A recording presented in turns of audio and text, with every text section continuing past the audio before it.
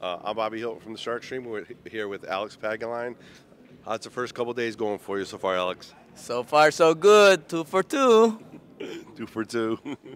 uh, what's the biggest thing you like about uh, the U.S. Open? Is it one of your favorite tournaments, or? Definitely, it's one of my favorite tournaments. Uh, you get to play all the best pool player in the world, and they don't call this U.S. Open for nothing. So, All right, now let's talk about the real thing, the big money match between Fedor and Shane. Now, you know you're one of the best money players of all time. What's your feeling on that? You want to get a piece in somebody else, or you want to, what did you think of the match? Did you see it?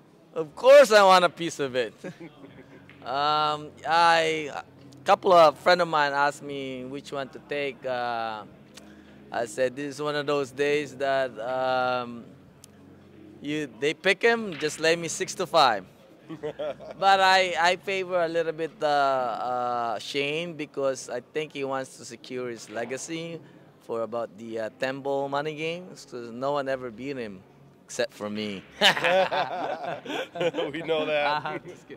Uh, well, yeah, and but also uh, Gorst is one of my favorite and very top-notch uh, money players, so that's why I said pick him.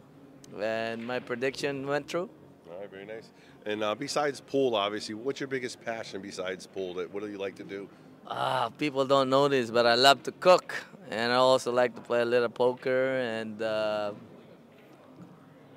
I don't know if I could say this on TV, but. we can get that one out. All right. Uh, no, yeah, no, no. Uh, it, you can, right? Yeah, that's true. That's true.